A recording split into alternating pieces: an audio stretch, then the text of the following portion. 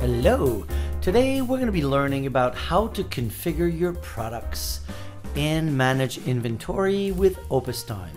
Now, to configure your products, it's a little bit different than the rest of it because your products can be managed on a daily basis.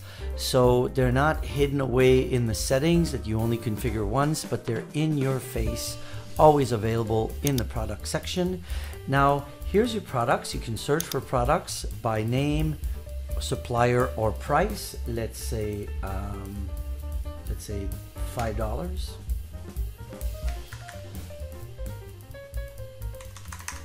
Uh, you can search by supplier or by, na by name. Um, this button right here allows you to click to print out the inventory. So you don't need to carry your machine around. So there's your inventory list. As you can see, you can manage a ton of products with OpusTime. Uh, to add a new products, uh, you can just click on add product right here.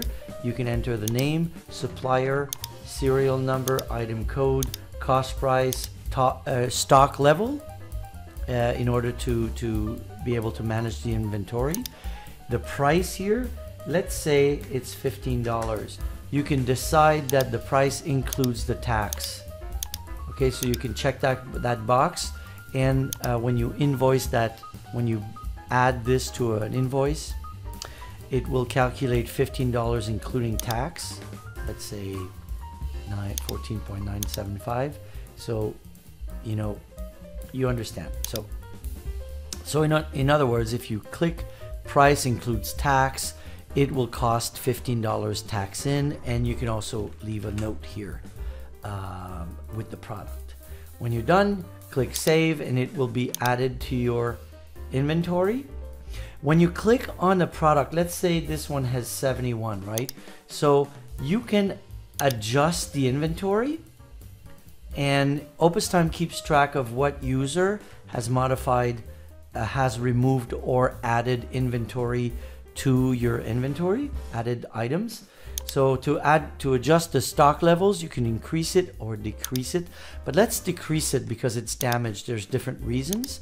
Let's say we decrease it by, uh, because uh, a client dropped it and cracked the lid and we'll decrease it by one. So if I update it you can see now that there's only 70 left okay? Um, so that's your stock adjustment.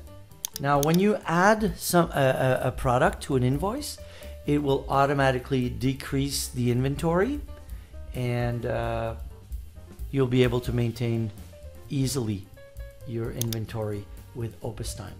Another way that you can manage the inventory is by using the expense feature. Those are like your business expenses. Let's say you add an expense uh, because you received a box with some products, let's say. So you can add a vendor, let's say standard gold. The category could be supplements or let's say face wash. Those are your categories that you enter when you add new products and uh, you can enter the total expense account. Let's say it's $56 including tax. Uh, then you can enter the products that have been received with this shipment and enter the qual the quantity in this case let's say there's 12 each and that the unit unit cost for each let's say is five dollars for this and then uh, seven 69 for that. So when you add this, they will get added to your inventory right here. And it's as simple as that. So that's how you manage your inventory and your products in OpusTime using the product section or the expense section. And I hope you enjoy this video. And if you did, give it a thumbs up or don't hesitate to share it to friends or users or people who might need to know about this information and we'll see you in the next one.